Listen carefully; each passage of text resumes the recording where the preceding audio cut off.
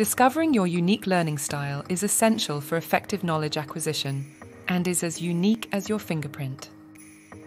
To identify your cognitive preferences, you can employ various strategies, such as self assessment questionnaires, tools like the VARK, Kolb's Inventory, and Felder Soloman Index help pinpoint your learning style through specific questions.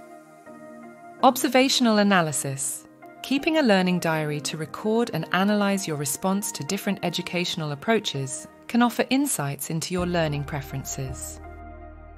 Analytical tools and applications, digital apps like StudyBlue and Brainscape, use user data to recommend personalised learning strategies. Reflective practice. Regular self reflection on your engagement and retention in various settings can reveal your learning patterns. Peer feedback Group study sessions can provide external perspectives on your learning behaviours. Professional assessment.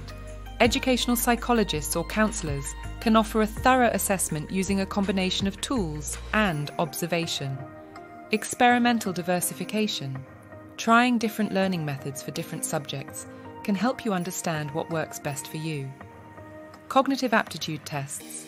Tests like the Multiple Intelligences Assessment highlight your cognitive strengths which suggest preferred learning styles. Overall, recognizing your learning style is a journey that requires patience and introspection, with rewards that extend to all aspects of your personal and educational growth.